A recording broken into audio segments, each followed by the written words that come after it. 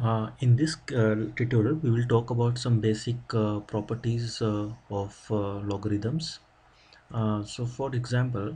if we have log of x, y, so that will be equal to log of x plus log of y. So let's look into it again more carefully. So if we say log of 100 so we know that log of 100 base 10 is equal to 2 now I can also write this as log of 10 10 multiplied by 10 so I can write 100 as 10 multiplied by 10 and in this case I can uh, if I use this uh, property then I will say log of 10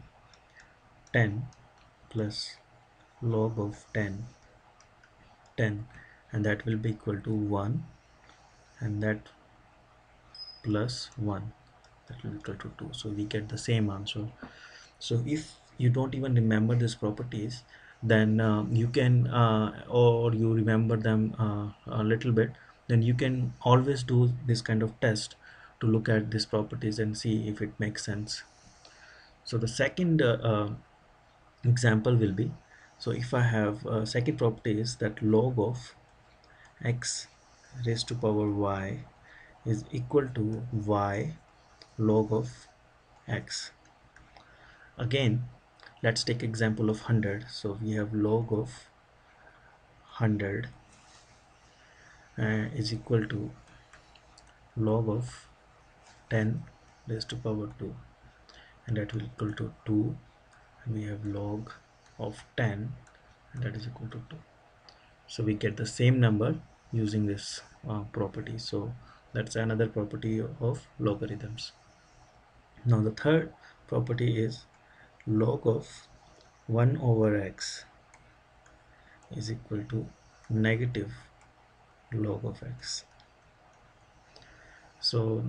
if you look again if we have a log of